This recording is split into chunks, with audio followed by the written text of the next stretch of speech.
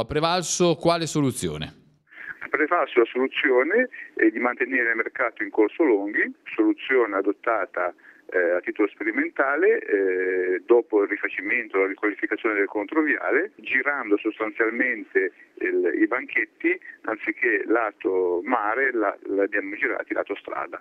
Questa soluzione prevede che l'arredo urbano eh, che il progetto di qualificazione prevedeva al centro del controviale venga invece eh, posizionato da un lato con una modifica minima rispetto al progetto sostanzialmente. Che cosa cambia dal punto di vista logistico? Adesso dovete fare ancora qualche aggiustamento oppure è tutto a posto? Una minima, una minima variante del progetto del, del, del, dell'arredo urbano della, del controviale.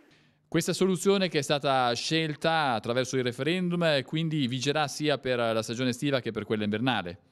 Certamente sì, certamente sì. Il, c'è solo una variazione del giorno che eh, durante tutto l'anno è la domenica mattina, nel mese di agosto invece viene spostato al martedì mattina.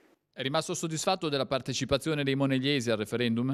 Assolutamente sì, i monegliesi hanno partecipato, partecipato in massa a questo referendum, non raccogliendo l'invito del comitato e del gruppo di minoranza di eh, rifiutare la scheda, tant'è che eh, questa opzione è stata scelta soltanto da circa il 5%, perché su circa 1700 votanti per il riferimento nazionale, più di 1600 hanno votato anche per quello eh, locale. Quindi i monetisti hanno dimostrato di voler dire a loro e questo mi sembra che eh, abbiano apprezzato anche la nostra scelta di dare a loro la parola.